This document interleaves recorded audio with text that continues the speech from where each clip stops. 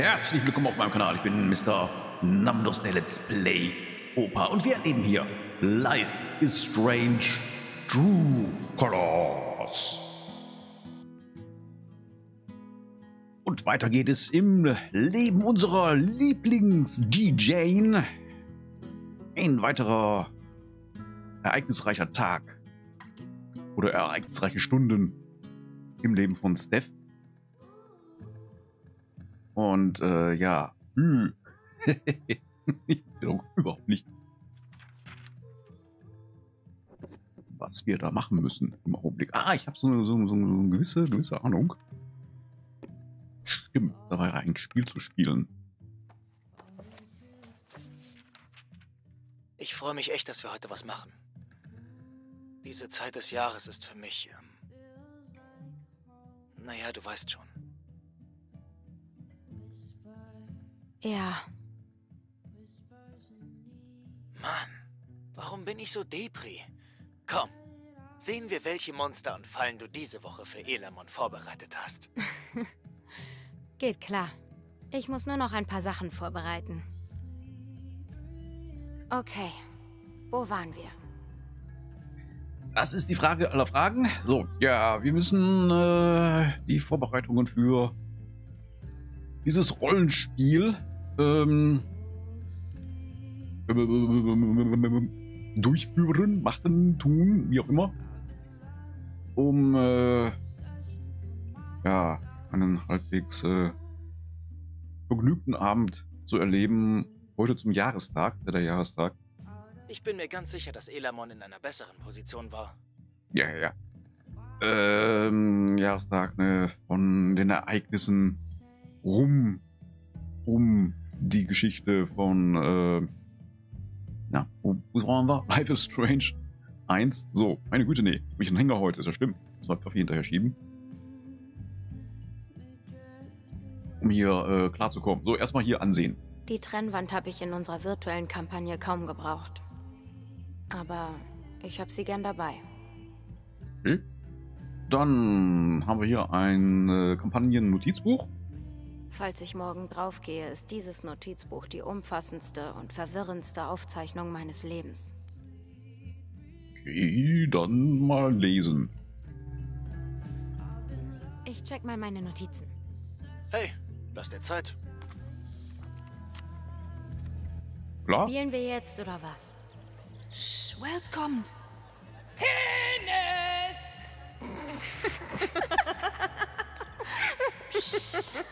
Chloe und Rachel spielen ihr eigenes Spiel. Nein, nein, gib mir die Nerdwürfel. Die was? Oh, gib mir den W20, W10 und W4, bitte. Klar doch. Ich schlag der Hydra den Kopf mit einem ihrer anderen Köpfe ein. Du schaffst das. Ist alles okay? Hier geht's gut, bloß Erinnerungen. Nur Erinnerungen. Gute oder schlechte Erinnerungen? Macht's einen Unterschied? Ich weiß, was du meinst. Die Erinnerungen an die Zeit vor dem ganzen Scheiß sind meist die schmerzhaftesten. Es war so dumm, eifersüchtig auf Chloe und Rachel zu sein. Ich dachte, was sie hatten, wäre perfekt. Und jetzt? Nur Wut. Als ob ein Teil von mir schreien will, bis ich einfach keine Luft mehr kriege. Niemand verdient, was ihnen passiert ist. Aber sie waren nicht niemand.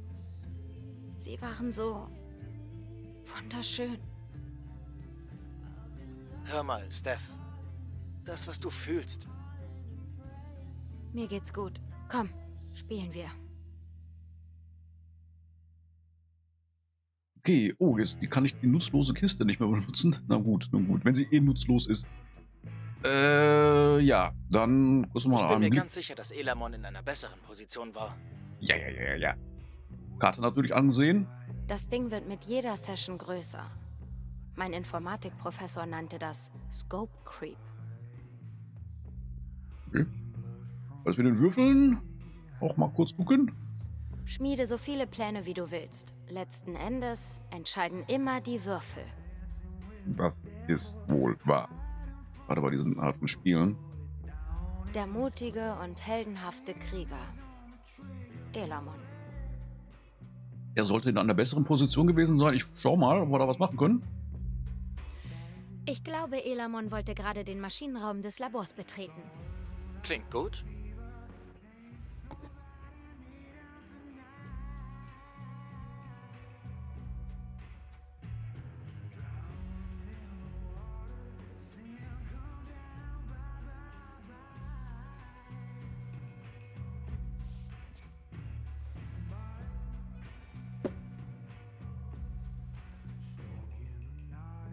Elamon ist auf Position. Chloe und ich waren keine besten Freunde oder so. Aber sie war für mich da, als es zählte. Sie hatte keine Angst. Vor gar nichts. Genau wie Rachel. Sie hat immer gesagt, Chloe hat ihr das Leben gerettet. Aber ich bin mir sicher, dass das gegenseitig war. Und wenn sie es gekonnt hätte, hätte Chloe vor nichts Halt gemacht, um Rachel zu retten. Denn sie war unglaublich stark. Ruhe in Frieden, Chloe. Ruhe in Frieden, Rachel. Fuck. Sorry. Das war eine Scheißidee. Ist cool. Wir können aufhören. Ja. Nein. Ich weiß nicht. Ich habe mich hinten versteckt, weißt du? Ich hätte eigentlich nach dir sprechen sollen. Doch mir ist klar geworden, dass ich von da oben alle ansehen müsste. Chloes Mutter, Rachels Eltern, die halbe Stadt. Es ging einfach nicht. Also bin ich weg. Ich hab's verstanden. Das haben alle.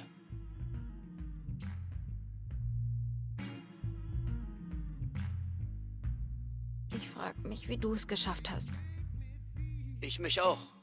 Ich hab's einfach getan. Wenn ich an Chloe und Rachel denke, verliere ich den Bezug zur Realität. Die Leute, die mir wichtig sind, alles, was ich mag. Ist es nicht bedeutungslos? Was für eine Welt ist das, in der so ein Scheiß passiert? Wenn ich's rauskriege, sage ich's dir. Du weißt, wir müssen auch nicht weitermachen. Versuchen wir Ja, die Ereignisse von damals äh, überschatten natürlich jetzt äh, gerade an diesem Tag äh, ein Spiel wie dieses.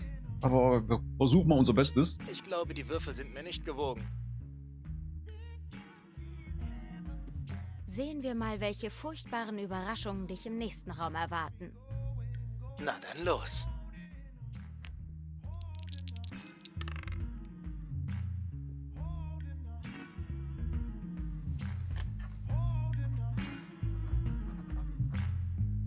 Und das sind minus 5 HP. Komm schon.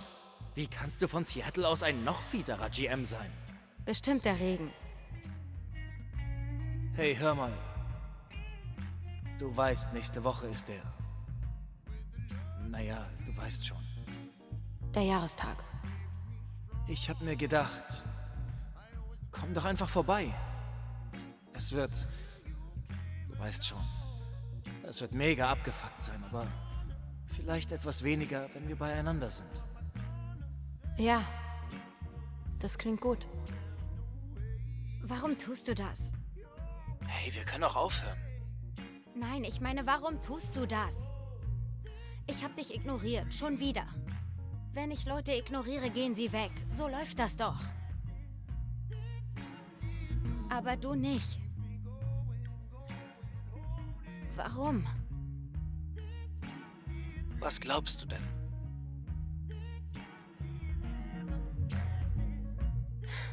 Weil ich ein Totalschaden bin und du kannst einfach nicht wegsehen, selbst wenn du willst. Ist das wirklich dein Ernst? Fuck. Steph, ich habe schon viel Scheiße von dir gehört, aber das... Ich brauch dich. Deshalb komme ich immer zurück. In der Highschool wusste ich nicht, wer ich bin, außer Stephs bester Freund. Und wenn wir heute was unternehmen, fühlt es sich an, als würde ich mein altes Ich wiederbeleben. Ich brauche dich, weil ich nicht stark genug bin, ich selbst zu sein, wenn du nicht in meiner Nähe bist. Das ist alles. Ziemlich abgefuckt, oder? Ja, es tut mir leid. Mikey, es tut mir leid. Ja, das weiß ich. Es liegt nicht an dir. Ist kein Trost, aber ich zieh das mit allen ab. Ist es nicht. Aber erzähl weiter. Es ist so seit Arcadia Bay. Sobald mir jemand oder etwas wichtig ist, ist es nur eine Frage der Zeit, bis ich was finde, das nicht stimmt. Und gehe. Vielleicht ist das okay. Vielleicht ist es dein Schicksal, eine unzuverlässige, nerdige Punklesbe zu sein. Wie bei Elamon. Das Abenteuer wird dich immer finden.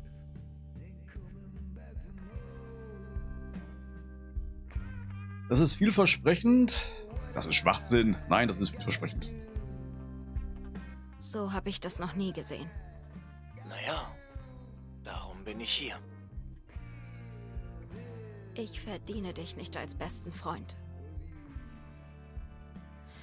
Aber ich gebe mir Mühe. Versprochen. Denn die Wahrheit ist, ich brauche dich auch. Und jetzt hör auf abzulenken und tu was. Nur weil Elamon voll am Arsch ist, heißt das nicht, dass du mich den ganzen Abend ablenken kannst.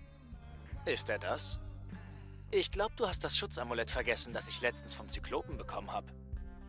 Ich vergesse gar nichts. Glaub ja nicht, dass ich keine Halloween-Überraschungen für dich geplant habe. Oh, wie gruselig. Jetzt wird's spannend.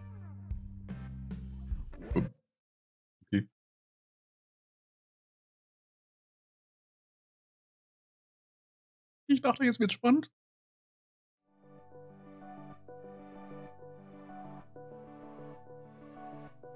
Okay, in der letzten Stunde hatten wir keine Anrufe.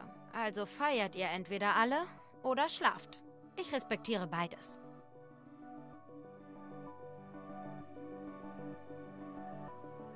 Und falls ihr Silvester noch nie eingesperrt in einem kleinen Raum im Dialog mit euch selbst verbracht habt, ich kann's nur empfehlen.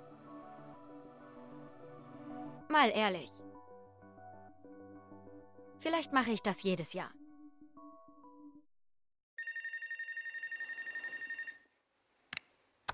Hey, du bist live auf KRCT und ich bin nicht allein im Universum. Wer ist da? Hey, hier ist Gabe. Jedermanns liebster Barkeeper. Vorsitze gefasst. Entschuldigung. Wie sieht's in der Letten aus? Was geht in der Black Lantern? Schon mit den ausgestopften Tieren rumgemacht? Kein Plan. Ich hab Feierabend und wollte mit dir reden. Geil. Ich lege einen Song auf und ruf dich dann an. Nein, nein, ähm. Ich rufe an, um mit der Hellseherin zu reden. Oh. Okay. Was liegt dir auf dem Herzen? Es gibt jemanden in meiner Familie, der im Moment vielleicht einsam ist. Ich habe überlegt, ob ich mich bei ihr melde. Das Ding ist, es ist sieben Jahre her und ich habe nie den Kontakt gesucht.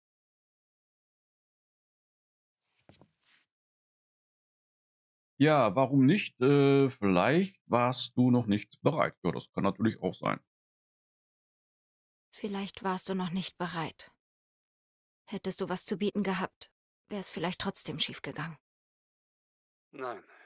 Schau mal, die Wahrheit ist, dass ich Angst davor habe, mit ihr zu reden. Ich weiß nicht, was sie durchgemacht hat. Ich weiß nicht mal, ob es ihr gut geht. Ich habe mega Angst, dass sie mich hasst, aber ich glaube wirklich, dass ich damit klarkomme, wenn ich es vorher weiß. Also wollte ich dich fragen, was passiert, wenn ich mich bei ihr melde? Was wird sie sagen? Dir ist klar, dass ich keine echte Hellseherin bin, oder? Hey, hey, hey, hey, chill. Ruinier's nicht. Okay. Warte kurz.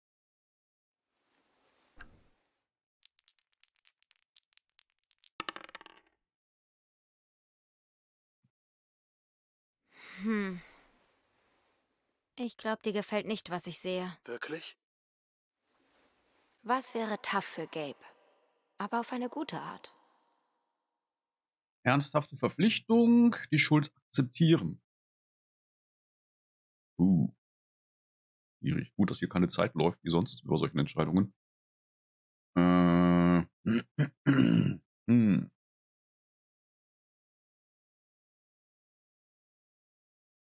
Ich nehme die Schuld akzeptieren.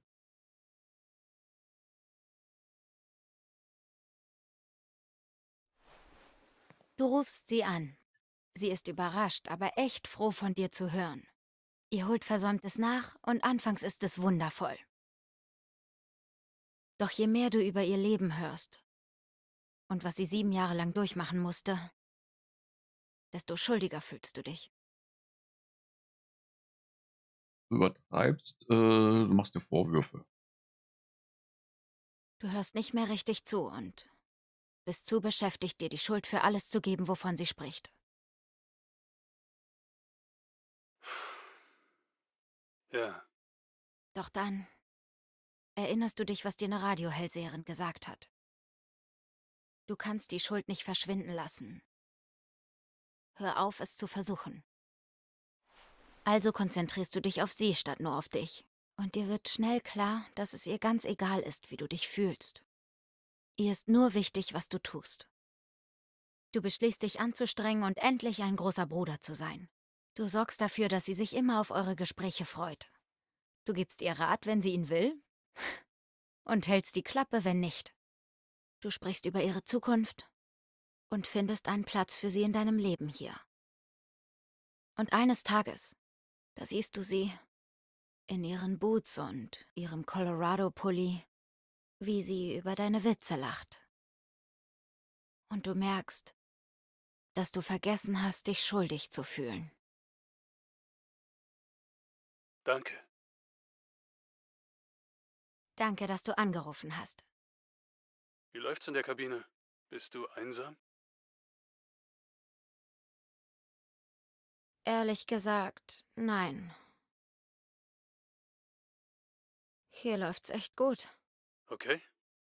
Dann bis bald. Naja, so ein bisschen einsam vielleicht doch.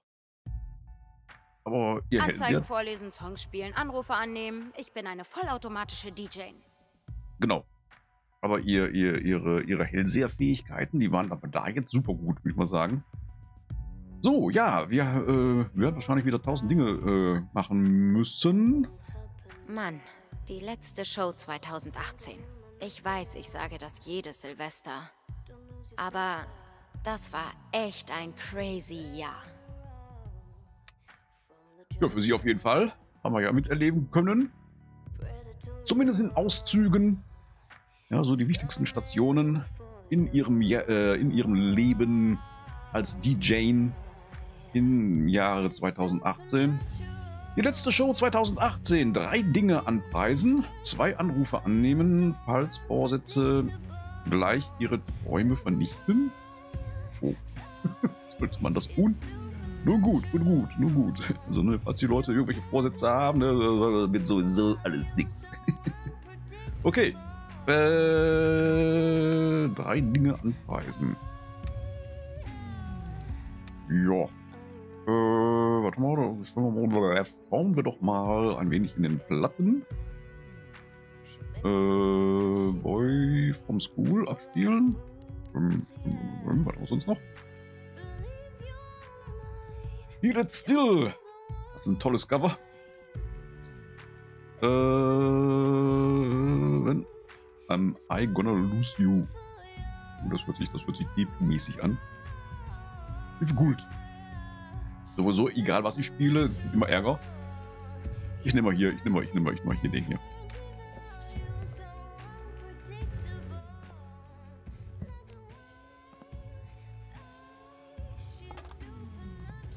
Ob die Musik so gut ist wie das Cover.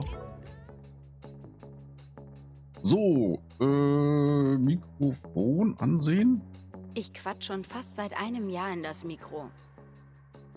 Und ich habe es irgendwie immer noch nicht satt. Computer benutzen. Oh ja, KRCT ist jetzt sowas von Pro. Aber hallo. Ja, was haben wir sonst? Nicht Äh, viele Zuhörer in letzter Zeit. Ich gebe den Feiertagen die Schuld. definitiv. Es musste kaum erwähnt werden. Also hat sie es kaum erwähnt. Schauen wir mal, um was es geht. Von Beatrice Gotthard äh, an Steph Gingrich. Frohes Neues.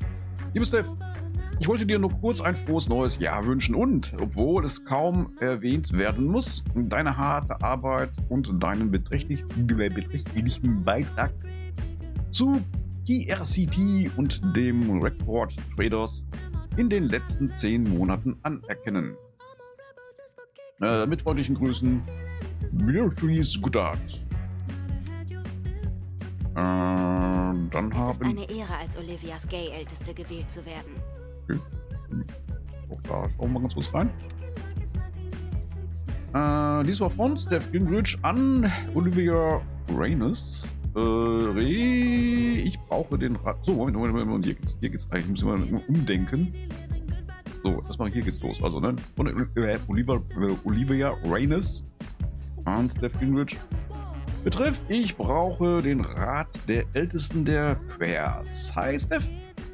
Ich weiß nicht, ob du dich an mich erinnerst. Ich habe vor ein paar Monaten bei deiner Show angerufen, weil meine Freundin zum Abendessen vorbeikam. Es ist übrigens super gelaufen. Ich weiß, wir sind keine Freunde oder so, aber ich könnte den Rat der Ältesten der Quer des Quer-TM gebrauchen. Okay. Äh, ich habe gerade herausgefunden, dass meine Freundin sich noch nicht vor ihren Eltern geoutet hat und das glauben, ich sei bloß eine Freundin. Ich weiß, ein Outing ist was sehr Persönliches und ich will sie nicht drängen. Es ist bloß, mich endlich geoutet zu haben, ist eine große Sache für mich und es fühlt sich wie ein Schritt rückwärts an. Ähm, glaub bitte nicht, dass du mir antworten musst. Aber falls du einen Rat für mich, für mich hast, würde ich ihn gerne hören. Vorsichtig. So. Liv. Achso, okay. Ähm. Okay, dann kommt jetzt ihre Antwort. Hey Liv. Natürlich erinnere ich mich, ich mich an dich. Äh, das ist echt kompliziert. Ich verstehe, warum ihre Eltern. Ich verstehe, warum um ihre Eltern herumschleichen sich wie ein Schritt in die falsche Richtung für dich anfühlt. Wenn ich an die Zeit kurz nach meinem Outing zurückdenke, hätte ich es so gefühlt. Äh, falls dieses Gefühl für dich überwältigend ist, wird es vielleicht Zeit, sich zu verabschieden. Doch das Leben ist lang und nichts äh, währt ewig. Falls du dieses Mädchen wirklich magst und denkst, du packst das, dann solltest du es versuchen. Hoffentlich hilft das. Ja, ne, natürlich nicht einfach ne, für sie, ne, durchaus nachvollziehen, ne, wenn man so schon den Schritt getan hat in ihrem Leben so ne, zu, einer, zu einer wichtigen Entscheidung. Hier war halt in dem Fall ihr Outing und sie lernt jetzt jemanden kennen, anderes Mädchen, das äh, da noch nicht diesen Schritt getan hat. Hm. Kann natürlich für die, die sich schon geoutet hat, ne, entsprechend schwierig sein. Auf der anderen Seite, warum sie nicht darin, unter, darin unterstützen, äh, dass sie ihr eigenes Outing äh, bezüglich äh, oder gegenüber, gegenüber ihren Eltern dann halt auch macht. Ne? Also ist ja auch eine Möglichkeit. Ja. Ist nicht einfach das Thema und äh, insofern, ne, ich kann beide Seiten durchaus verstehen. Ne? Das ist äh, schwierig sowas. So. Äh, ansehen, quatschen. Es ist Silvester, werte Zuhörer in Haven. Und das bedeutet Feiern, Küsse um Mitternacht und gute Vorsätze. Erzählt mir eure Vorsätze fürs neue Jahr und Havens beste und einzige Hellseherin wird euch sagen, wie lange sie halten.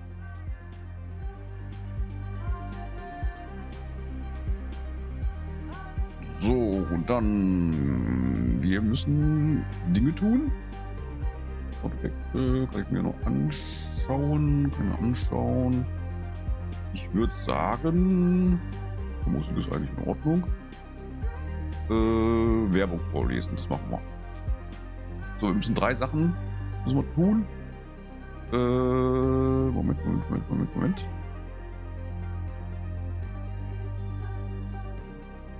Kann ich mir, kann ich mir. Wo, wo war's, wo war's? Ach, hier. Vorlesen, ansehen, kann ich das nicht Mein erstmal. innerer Tyler Durden hasst diesen Teil des Jobs. Ja, Aber genau. meiner inneren Werbeagentin gefällt's. Eben, eben, eben, eben. Darf ich jetzt lesen? Danke. Wenn schon so viel zu lesen sein soll ne, muss und so, dann äh, ran an den Speck. So. Die RCT-Sponsoren, 23.12. bis 31. Äh, 23.12. bis 31.12. The Black Lantern, Silvesterparty 2019, gratis Champagner, Tombola mit Preisen von Char, Eleanor etc. Äh, Fassabend, letzter Donnerstag im Monat, neues Bier in unseren wechselnden Fässern. Drinks im Sonderangebot. Danke, Jet. Äh, Grimleys Autowerkstatt. Frohes Neues von Grimleys. Und danke an KRCT für die anhaltende Partnerschaft. Wir dienen der Gemeinde von Haven Springs seit 13 Jahren, falls jemand die genaue Zahl wissen möchte. Wir haben an allen wichtigen Feiertagen im Winter geöffnet, damit ihr euch selbst das Geschenk des sicheren, zuverlässigen Fahrens geben könnt. Äh, Spams Lebensmittel, die sind neu. Äh, hey Steph, ich liebe deine Show. Wir haben einiges an Lagerbeständen von den, Feierta von den Feiertagen. Also hilf uns alles, was du tun kannst, um Leuten in den Laden zu bringen. Äh, Feiertagsessen im Angebot, ausgewachsene Truthähne, Räucherschinken, frische Cranberry-Soße, ausverkauft für Feiertagsdeko noch vor Jahresende. Äh, große Aus, äh, Ausverkauf für Feiertagsdeko, naja. Äh, große Auswahl an Neujahrsvorsätzen freundliche Lebensmittel. Okay. Ähm, ich kann mir davon nichts merken und äh, machen das einfach jetzt mal hier. So, Werbung vorlesen. Wir fangen mit dem Black Lantern an. KRCT wird euch präsentiert von der Black Lantern, in der genau in diesem Moment eine abgefahrene Silvesterparty läuft. Ihr habt immer noch Zeit, Euch Champagner zu holen, etwas zu gewinnen, sowohl als auch, ich würde mal sagen. euch bis zum Countdown ein gratis Glas Sekt zu schnappen. Außerdem ist jeden letzten Donnerstag im Monat Austrinkabend. Die Black Lantern bietet Drinks im Sonderangebot, Drinks im Sonderangebot. Drinks im Sonderangebot an, damit ihr alles ausprobieren könnt, ohne pleite zu gehen. Frohes Neues von der Black Lantern, dem biergetränkten Herzen von Haven Springs. Genau. So, was hatten wir noch? Was kann ich jetzt noch versenken? Äh. Werbung, Werbung, Werbung, Werbung. Wo bist du? Handy? Nein. Da, Werbung vorlesen. So, Grimleys Autowerkstatt. Hey, wir haben heute einen wiederkehrenden Sponsor. Grimleys Autowerkstatt. Immer da für Haven Springs. Seit Emo die Welt beherrscht, seit. Egal. Seit 2005. Bevor einige Zuhörer hier geboren waren. Und falls ihr dazugehört, denkt dran. Nur coole Kids bleiben lange auf und hören sich lokale Sender an. Grimleys hat an jedem Feiertag im Winter geöffnet. Falls ihr also Ein Feuerwerk getroffen, vom Feuerwerk getroffen werden, ein Rentieranfahrt.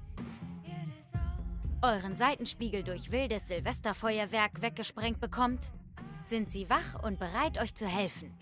Nochmal, Grimleys Autowerkstatt. Eure besten und öligsten Nachbarn. Ölig. Gefällt mir sehr. Äh, so, und dann noch die letzte. Ähm, achso, ja. Ähm, ja. Vermisst ihr den Winter jetzt schon? Fragt ihr euch, wie ihr die lange, feiertagslose Zeit bis Valentinstag überleben sollt? Keine Sorge, Spams Lebensmittel versorgt euch. Lasst die Winterstimmung weiterleben mit Euren liebsten mehr Dekoration. noch mehr Dekoration. Holt einen zweiten Weihnachtsbaum. Beleuchtet euren Garten mit einem 2019-Schriftzug. Egal, was eure Nachbarn denken. Und während wir unsere Vorsätze fürs neue Jahr festlegen, ist Spams die Anlaufstelle für gesunde Lebensmittel für die zwei Wochen, in denen ihr tatsächlich ins Fitnessstudio geht. Frohes Neues von Spams. Aber das habe ich halb versenkt, irgendwie das mit den die, die, die Dingsbums da, die, die, die Deko war da aus, ausverkauft, ne? Egal, wir gehen mal ans Telefon. Frohes Neues, du redest mit Steph. Oh, wow. Hi. Ich habe ein großes Problem und bräuchte deinen Rat. Ein junger Zuhörer mit äußerst großen Problemen. Lass hören. Okay. Es geht um ein Weihnachtsgeschenk von diesem Jahr. Von meiner Oma. Lass mich raten. Gruppenzwang macht dir Angst, den hässlichen Pulli zu tragen, obwohl du ihn über alles liebst. Wenn es bloß das wäre. Meine Oma hat mir eine 4000 Dollar Kamera plus Beleuchtung gekauft. Wow. Ich weiß. Ich will nicht, dass sie das bezahlt. Sie ist eine pensionierte Lebensmittelhändlerin. Aber es geht nicht nur um die Kosten. Ich wollte mal Regisseur werden und Oma hat sich total reingesteigert. DVDs, Bücher übers Filme machen, Online-Kurse und jetzt das. Ich nehme an, du stehst nicht mehr so aufs Filme machen? Ehrlich gesagt, je mehr ich über die Branche lerne, desto mehr frage ich mich, ob das wirklich etwas für mich ist. Was, was soll ich machen? Gebe ich die Kamera zurück und überfahre ihre Gefühle mit einer Walze? Ich werde den Kosmos konsultieren. Das wird schwierig. Oh Mann, oh Mann, oh Mann, oh Mann. Ich kann ihn so verstehen. Ja, wenn so ne, Erwartungen dann eingerichtet werden und man hat sich eigentlich in eine andere Richtung dann weiterentwickelt äh, ne, und äh, äh, wenn es dann die eigenen Großeltern sind, Oma, Opa äh, oder die eigenen Eltern, wer auch immer, ne, also hm. Ich hoffe auf gute Zahlen. Eine 12 sagt mir nicht viel. Was macht man mit einem überteuerten Geschenk?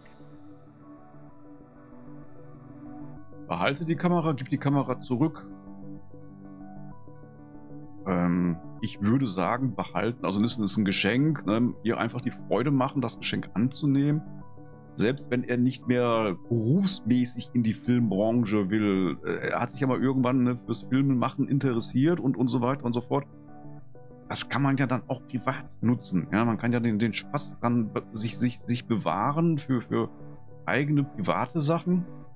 Auch wenn vielleicht eine Ausrüstung von, von, von, was war das jetzt, 4000 Euro, äh, Dollar dann vielleicht ein bisschen hochgegriffen ist, aber sei es drum. Ja, ähm, mach ihr einfach das Geschenk, dass du dich über dieses Geschenk freust und nutze es für dich, so wie du es dann magst. Ne? Also das wäre so mein Rat.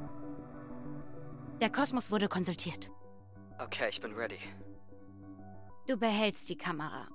Obwohl es dir im Innersten wehtut, wie viel Oma bezahlt hat.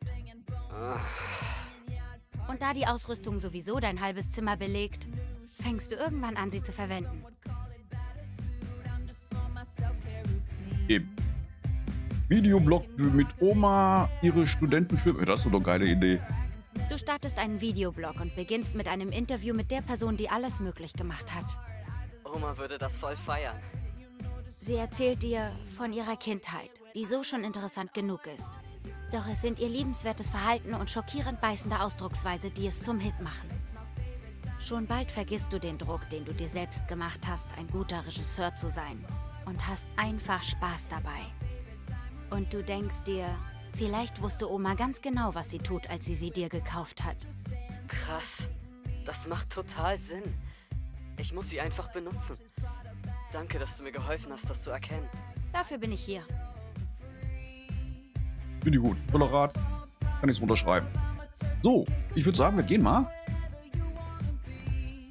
Wir haben bestimmt noch was im Laden zu tun.